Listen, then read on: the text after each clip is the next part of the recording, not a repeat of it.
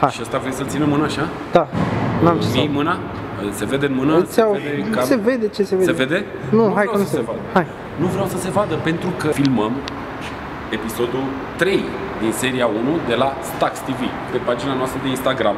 Asta de aici. Nu uita să, să dai follow. Uh, și la pagina de Facebook.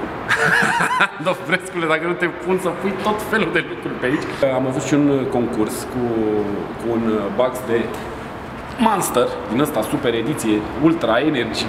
Bei și pf, alegi de aici până la tineretului și înapoi. Uh, am avut un concurs cu uh, cine ghicește următorul invitat din emisiune. Am avut 5 câștigători.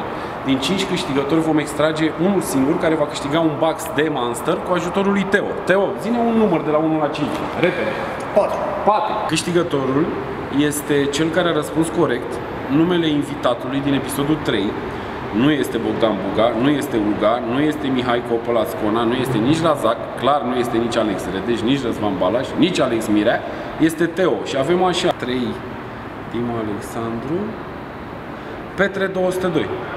Petre 202 este omul care ne-a răspuns corect, cu următorul invitat, al patrulea a răspuns corect. Dacă am greșit, puteți verifica pe pagina noastră de Instagram.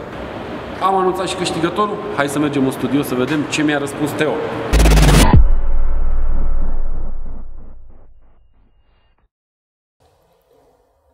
Te salut, Teodor.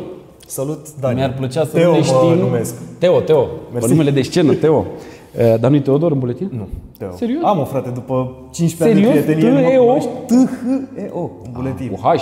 Cu H. Și cu liniuță între Teo și Cu H mut, da. Îl știu pe Teo de foarte multă vreme.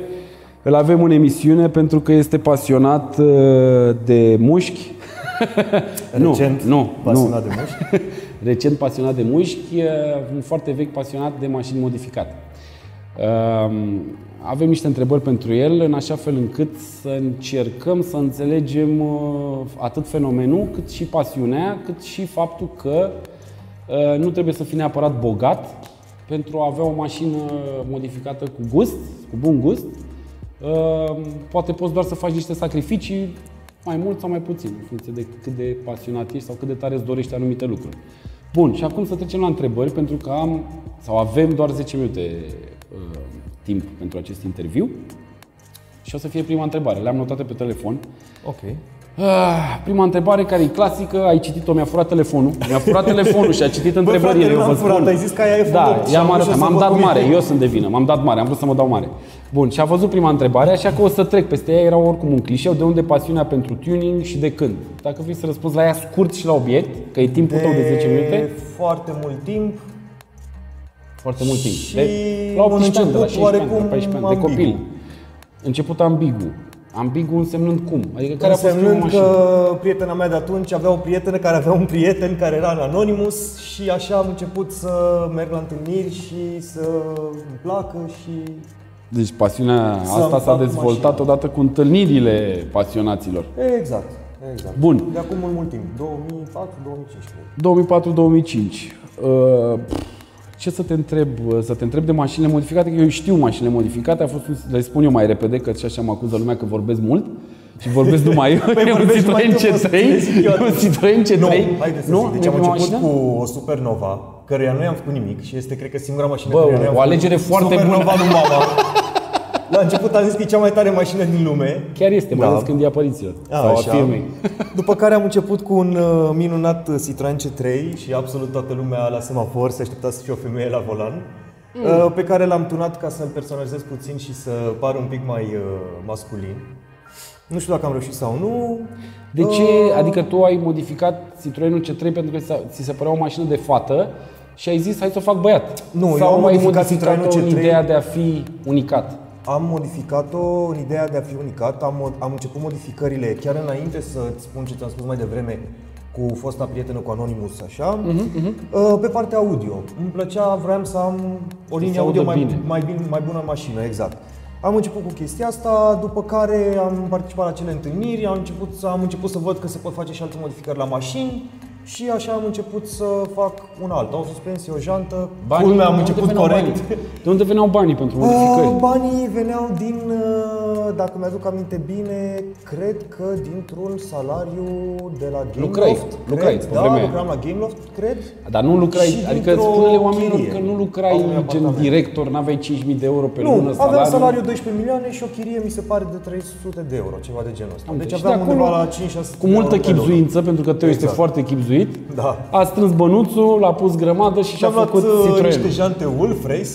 După ce ai Ții făcut minte? Citroenul, care a fost următoarea mașină? Uh, Repede. După aia cred că a fost un Seat Leon super mega extra wide, Wide. cu toată Fibră, fibra bă. din țară Bun. pe el a fost.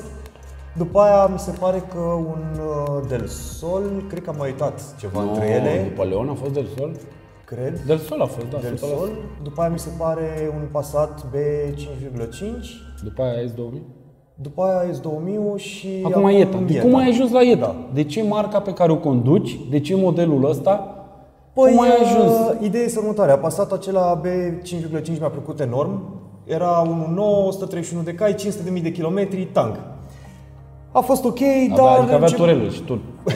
dar începuse, mă rog, să aibă mici probleme, fi mașină veche, aveam nevoie de ea de zi cu zi și atunci am zis să-mi iau o mașină un pic mai nouă, mai fiabilă, mai pe care pot să mă bazez. Bun. Am luat Ieta, am vrut să fie o mașină diesel, am vrut să fie cu cutie automată, am vrut să aibă opțiuni destul de multe. Am zis că e mașină de zi cu zi și că nu-i fac mare lucru de data asta, doar jante și suspensie, vechea poveste.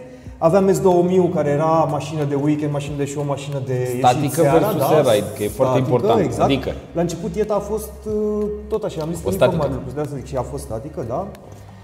Uh, după care tot așa, cred că, dacă mi-aduc aminte bine, uh, minunații mei uh, vecini constructori din Cosmopolis mi-au turnat niște ciment pe ea și a trebuit să o vopsesc și de acolo a început Hai să nouă schimbăm jantă, culoarea, o hai să suspensie, punem... Bun, una alta. explicăm că ai avut două mașini, toată lumea este interesată de trendul ăsta nou cu Air Ride-ul. Ai avut în același timp două mașini, exact cum ai spus, S2000 static, foarte jos, fără wheel gap, gardă la sol 3 cm și Ieta, care era la fel, dar avea Air Ride. Da.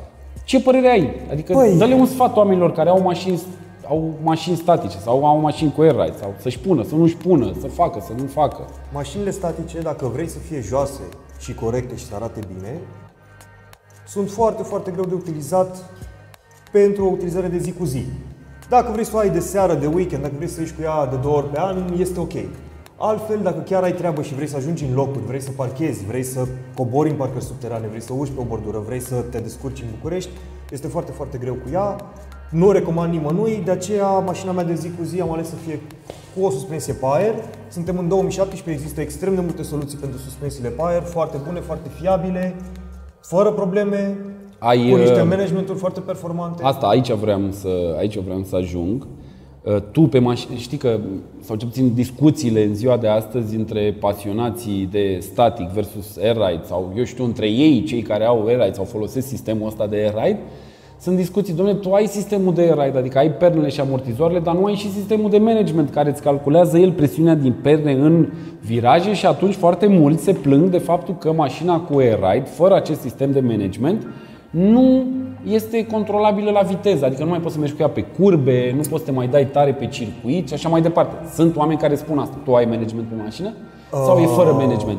Adică gen- Management, na, oricum trebuie să ai, dar am un management mai, mai primitiv, ca să spun așa. Da, care, nu știu, poate nu e pe Genul fiecare ăsta- amortizor sau nu e independent sau nu știu, Exact. probabil și acolo sunt calculatoare mai performante. Genul ăsta de management am avut la toate mașinile mele pe care am avut suspensie pe aer, adică asta e a treia, am avut suspensie pe aer pe Seat, pe Passat și pe Ieta. Uh, n-am avut niciodată vreo problemă cu ele în curbe sau... Ideea e că oricum folos... când o folosești în oraș nu poți să Nu, testezi mă refer, curbele. nu, mă refer la Pe ieșit, circuit la mers n-am în afară. fost, N-ai fost. Pe circuit nu am fost, nu nu ești am genul. mers pe autostradă. Da, normal. N-am Ca un avut om nicio normal. problemă, am mers la munte, n-am avut nicio problemă pe serpentine, oricum eu merg Da, da. oarecum sportiv, n-am, n-am simțit niciodată că aș avea vreo problemă. Mhm, Acum, în sfârșit, mi-am comandat și săptămâna trecută chiar un sistem de management foarte... De sau, ce mă rog, dacă n-ai avut o mai problemă? De ce performant. l-ai comandat? Uh, L-am comandat pentru că Așa e, pot, când dai bani, pentru dai că bani pot, să fie nene, să pentru fie că pot, bogăție. pentru că mi doream și pentru că îmi place foarte, foarte, Fii foarte atent. mult. Spune-mi, te rog, uh, mai e aici o întrebare cu care aș vrea să încheiem. Uh, Spune-ne mai multe de activitatea ta, ce faci tu de zi de zi și unde te pot găsi oamenii pe Facebook și pe Instagram. Dacă ai Instagram, dacă ai Facebook și care e activitatea ta zilnică și, repet, unde te pot găsi oamenii dacă vor să spună întrebări. Băi, Teo, vreau și eu la IETA să-mi pun rost de Bentley. De unde l-ai furat? Uh, De unde Păi, Uh, Până acum 5 ani, uh, activitatea mea era oarecum legată de mașini. Uh, Făceam modificări cu fibră, modificări estetice, consiliere, chestii de genul ăsta, iar de 5 ani de zile uh, m-am uh, hotărât să-mi schimb puțin stilul de viață, deoarece eram uh, Gras. destul de grăsan. Eram gras. destul Și de eu. grăsan. Și m-am ocupat de fitness, sunt uh, nutriționist și Îmi pare rău, antrenor scuză-mă online. că te întrerup, îmi pare rău că nu avem o poză cu Teo, să o punem aici. Nu- Aș vrea o poză cu Teo gras. Poate, poate se Da? face Mulțumesc. la montaj, să rezolvăm. Uh, da, eram foarte gras, am slăbit. Mâncai câte savarine? Uh, toate. Câți bani aveam? Mi-am și din aminte păcate, de nu prea pozele aveam, alea cu din savarine, păcate nu înțeleg. prea aveam bani, că toți îi băgam în mâncare, mă rog. Și Așa? mașini, mașini și și- mașini, mașini și mâncare, exact. Uh, bun, și de 5 ani de zile fac treaba asta. Uh, oamenii mă pot De 5 găsi- ani de zile faci treaba asta care? de cinci Mănânci ani de sănătos? zile, Mănânci uh, gras? Nu. Sau Da. Bun. Acum 5 ani de zile m-am apucat să slăbesc. Am slăbit în 6 luni de zile. Toți prietenii și toată lumea la început mă întreba de Ce ce, steroizi bagi? Anavar? De ce? De Uh. ce? Iar apoi toată lumea mă întreba cum? Cum să facă și ei? Și așa mi-a venit ideea, oarecum în mod natural, de a porni... Împărtăși chestia asta și cu ceilalți. Da, de a porni chestia asta ca și un business, de a ajuta pe oameni să-și schimbe viața, să aibă De un acolo a stil de plecat viață mai Fat to sănătos. Exact. Și am uh, deschis uh, pagina de Facebook, site, Fat to Fit. Deci unde oamenii te pot oamenii găsi să și mă acolo? găsesc acolo lucrez doar online, deoarece am foarte mulți clienți, n-aș avea cum să mă întâlnesc cu toți. Am clienți din toată țara sau chiar din toată lumea. Uh, și atunci lucrez cu ei doar online. Zic, ai, un Le pa- fac ai, programe de ai, ai, antrenament ai, și de ai, ai nutriție. reușit să slăbești și un băiat pasionat din Germania, nu? Parcă nu? Din Olanda este Din Olanda. cel care are pagina de Facebook DAB05. A slăbit vreo L-ai 40 slăbit și pe ăla. kg. Exact.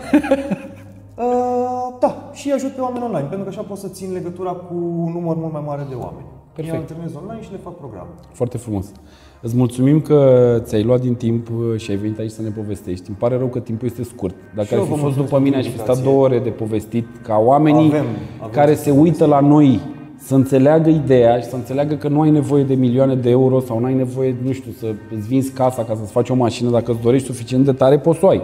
Ce mașină în îți niciun dorești caz, tu? Se pot face modificări și Așa?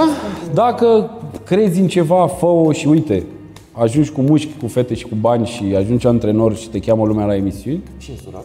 Și însurat, am uitat în surător. Așa. Teo, îți mulțumesc, ne vedem la mașină. Să-mi Mersi. prezinți Ne bijuteria. vedem.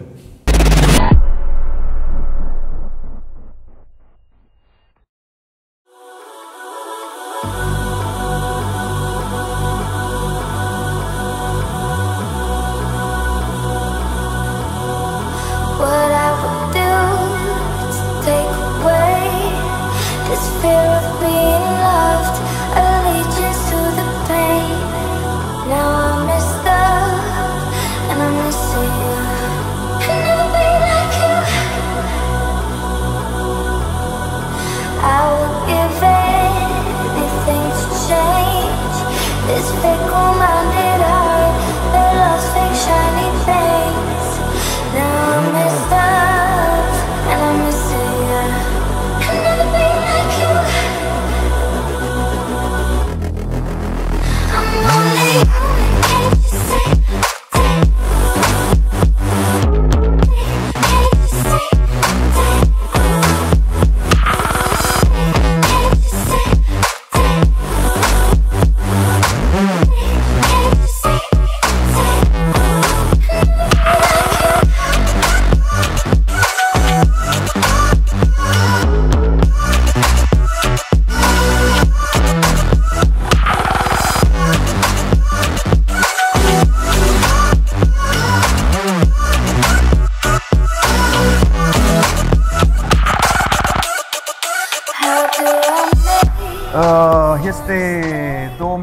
Ani de fabricație, iar acum, de fapt anul trecut am adus-o la 2015-2016, iar acum am adus-o la 2017-2018. Uh, na, dacă tot am zis să nu o altă mașină nouă, să o schimb, uh, am zis măcar să îi fac facelift-uri. Uh, a fost un pic mai complicat la spate decât credeam. Uh, am crezut că trebuie să schimb doar stopurile și haionul, a trebuit să schimb și bara spate, cu tot cu toate prinderile și cu multe alte elemente. După ce am cumpărat de piesele, mă rog, a fost greu din punct de vedere financiar, nu din alt punct de vedere, în rest doar le-am scos pe cele vechi și le-am montat pe cele noi. Niciodată n-am ținut o mașină mai mult de 2 ani, de 3 ani, uh, pentru că îmi place să încep un nou proiect, să văd cum pot să-mi uh, aplic imaginația pe următoarele mașini.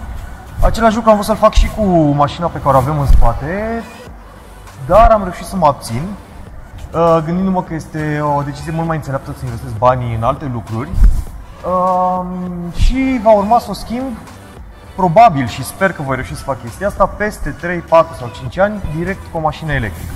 Uh, modificările nu sunt foarte, foarte multe, sunt toate pe linie OM, sunt elemente stock uh, din diferite marketuri. Multe dintre ele sunt luate din America, uh, fiind uh, de echipare GLI, echipare care nu există pentru Europa, există doar pentru America.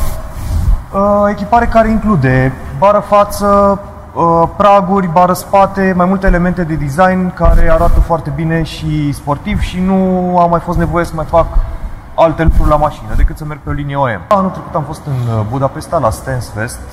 Uh, din păcate, primul meu eveniment uh, din afara țării. Uh, mi-a plăcut foarte tare și vreau să merg la cât mai multe. Uh, anul viitor vreau să merg la Racism, sper să reușesc, să formăm o mică echipă și să mergem. Uh, la Stance Fest, din nou, mi-a plăcut foarte, foarte mult și, de ce nu, poate și în alte țări, dacă infrastructura rutieră ne permite.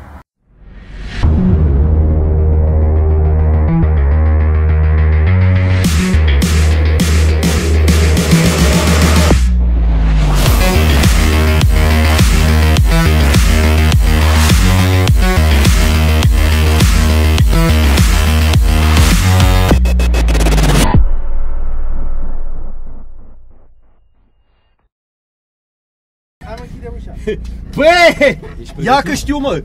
Am văzut episodul 2, știu cum se închide ușa. Bosule, Dă-i cu deramaj de la, deramaj. Nu, frână, frână, stop, stop. eu am văzut uh, schema Ai făcut cu... curba, nu cu exact. plecatul, am înțeles din cauza Pleacă asta la gât. Nu vine nimeni din stânga, nu te mă uita. Înainte, da? Avem Mamă, două șicane. băi, Nu, eu dacă merg mai repede de atâta, jur Hai mă că, că poți, fac mergi căcat mai și repede. mașina N-ai și ce tot, să și pe faci. tine și pe... Hai. Bă, ai zis că nu te-a speriat nimeni, că dacă nu Da. te sperii... Dă dracu cronometru, nu mai găsesc. Ăsta Aici trebuie filmează, să mergi mă? așa. Da, da, da. filmează. Băi, eu sunt obișnuit cu stensuil, cu... Când văd gropi din astea, îmi vine p***a mea să frânez. Să-mi dai cu spoilerul, frate. Exact, îmi vine să frânez Cea mea. mai inextinge. Băi, pe mine odată mă ia. Da, și mă, când stai, mă stai, ia... stai. Fasanu! Mamă, Să-mi bag! Făceam un... Tocând, băi, aici ești știe că sunt de la fetul fița mea, tu știi cum e? Carnea de fazan Lasă-l acolo. Nu te dărâma. nu se pune. Nu se pune. Nu se pune, boss, era în drum. Hai, hai. Dacă nu l-a luat nimeni. Dai, dai, dai. dai. Băi, nu mă fura. Ai făcut 58, dar ai avut penalizare. Ce vrei să fac? Da, acum serios, pe bune. Bă, chiar e mega Catering că să-mi bag în afară de faptul că nu mai pot să respir în astea și că e cald. E blană, coaie, chiar e blană. Să... Eu, chiar e blană. Dacă vrei, te pun în dreapta și conduc eu. Nu! Binder dandat cu pisica nu mai vrea. Gata, bossule, te-am lăsat aici la jalon. Gata. Să te duci tu mai în față că te-ai pus pe loc cu jalonul. Stai să Ai pui pus și jalonul la boss cu L-am aia pus 10 mai lei, așa. ok, da, mai așa. Banii da, aia, da. e tot. Stai, stai, stai, nu pleca. Păi de ce, mă? Fac. Am dat drumul la treabă. Nu te agita, nu te agita. Încearcă să te con- controlezi, Teo. Nu, nu, don't, don't go there, Băi, in the băiatule, retard zone. eu ți-am zis Don't că- go in the retard zone. Mamă, firea, bă, care ești cu centura mătii! Să-mi bag! Aici, aici, aici, frână, frână, plană, plană, plană, băi! Băi, băi, băi, băi, E băi, greu, băi, mă. bravo, bravo, haide, haide! Dă lăsa, bravo, bravo, E greu bravo, cu jalonul bravo. ăla, mă, trebuie să iau un pic mai încet. Bravo, bravo. Uh, pasiunea tuningului nu înseamnă neapărat și o pasiune în ale condusului. Frână, plană, plană, frână, plană, Nici o plană, mă. Nici un plan. Aici e mai deschis. Hai. Hai, hai, hai, hai, hai, hai, hai, hai. Așa, pe exterior, frână aici ușor. Așa, așa, așa, așa. Așa, tată. Nu lăsa, nu lăsa, nu lăsa, dă-i gazul pe ea. Gazul până la finish, aici, aici. Gata, mă, bravo, așa, stop. Băi, Dreapta pentru împrejur. clienții mei de acum încolo, o să recomand o tură pe autocross. E blană, coaie. Am Slăbit? slăbit un kill cel puțin, ești nebun. Haide. Ce mi-arătasei, mă?